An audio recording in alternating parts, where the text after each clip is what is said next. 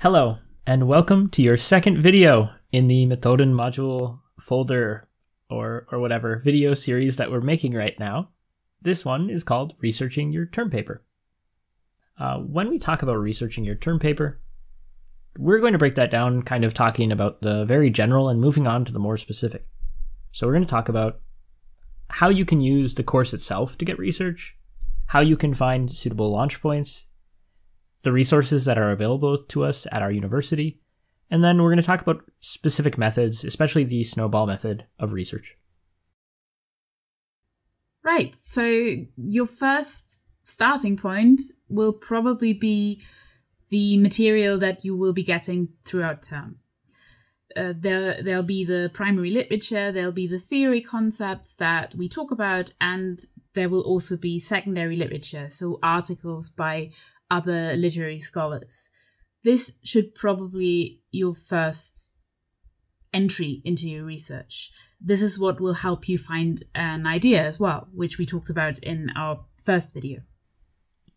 Yeah, I mean, when you look at, I don't know, say the interpreter, if you're writing a paper about it, if you look at our texts that are also about the interpreter, it's going to give you some ideas and maybe even just inspire you as to which quotes might be worth singling out or what areas might be especially interesting in those those stories. Um, that's one way that we can always begin our research. I would recommend not only having research from the course though, because that also can sometimes come off as a little bit like you didn't try very hard. However, that's not always the case. We do recommend that you use it as much as you can. Use it liberally because it's given to you for a reason. It's supposed to make your job a little bit easier usually when we don't understand a concept or when we're maybe looking into a concept that's related to the coursework but that wasn't covered in the course, we're going to be looking at Wikipedia or Google and we're just going to be looking for how we are going to come to understand these terms. When we do something like that, you can obviously not use Encyclopedia Britannica or Wikipedia as sources, but you can always look at the sources they've cited after you've given yourself some broad information, and maybe that will help you to find sources of information that might be suitable. Of course, that's not always the case. Wikipedia is not academic, so it doesn't sort- cite academic sources. But don't be afraid to use it if you need a concise explanation for, for a particular concept. Just be aware that you can only use it as a starting point for your further research, not as something that you can quote in an academic context a bit more academically suited than Google or Wikipedia is Google Scholar.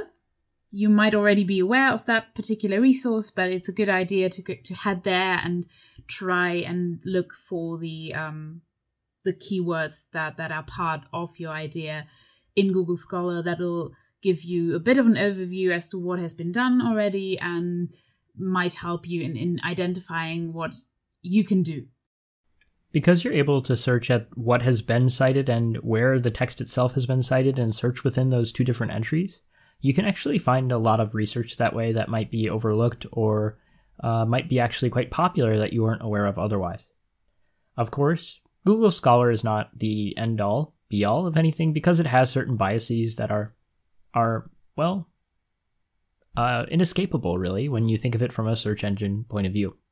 So while Google Scholar is a helpful resource, it shouldn't be the only one that you're using. Which brings us to some of the more academic resources that we have available to us. There's the university library. You can use the catalog, and I would highly recommend not only looking at the books that we have in our collection, but also at the essays, the Aufsätze, uh, chapters, and, and articles, because you can actually access quite a few via the library catalog. So do that. The ULB catalog is especially interesting because it actually is connected to a lot of different databases as well, especially in the essay section. So if you do search in that, it can sometimes link you to some of the other databases and it will already have pruned your results very helpfully in the direction that you're looking for. But you will also want to look at the databases themselves because sometimes the library catalog will only show you the things that it has readily available and sometimes not even all of those. So you want to head to research on the ULB page Uh, look for databases. The most prominent one is probably MLA. You can use that with, with giving in with typing in keywords, and that'll give you a selection of articles and book chapters, some of which you can access online, others you can't. Those you can most often uh, reach or access through interlibrary loan.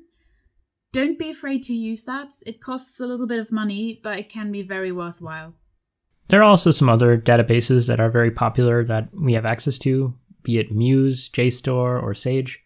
These are just some other examples, and we're going to provide links in this video to show you all of these different databases, and hopefully you can bookmark them all and make use of them when you write your term papers. Obviously, this video is not all encompassing, and Tina and I don't know what new database might be on the ULB's website right now, so we recommend checking it out for yourself, always evaluating because those databases can change throughout the year.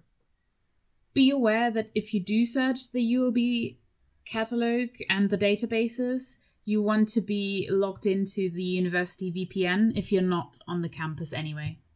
Some of the databases, though, will allow you to log in through an institutional login or Open Athens or Shibboleth, and that will be made pretty clear to you once you're on those individual article websites. Those are not your only options. Once you have collected a number of articles and books through the methods that we just explained to you, you can use a thing called the snowball method. The snowball method is pretty simple. See, one of the biggest issues when we research is we don't really know what to research for. But once we have even a small pile of research, we can go to the sites, well, the citations, the sources that they've cited in those papers. When we do that, we can look at them and we can figure out if any of them might be relevant to our topic. Sometimes we can find research that's more relevant to our topic than the actual paper or article that cited it to begin with. When we do that, we kind of consistently move ourselves forward and we keep finding more and more sources because we can go to that source and look at what they used as sources. The biggest problem with the snowball method is that it's kind of based on the year that you're looking at, right? If you're looking at an article written in 2013, it will only have research from before 2013 cited. Nonetheless, this is an extremely useful method and we highly recommend it. It can also be used as a cross reference to see which sources are the most trustworthy or most relied upon. We can also use this method if we look at handbooks, um, collections of key concepts on a particular uh, corpus of theory, or even when we look at research encyclopedias and so on. Uh, so you might have a look at the key concepts of post-colonial studies, which will give you very short explanations on specific concepts such as binaries or hybridity, and that won't be enough to uh, to carry you through your entire term paper. But all of these entries have their own works cited lists, and we highly recommend looking at that and and gaining more research, gaining more material through that. I think that about covers the basics of research and what you need to know.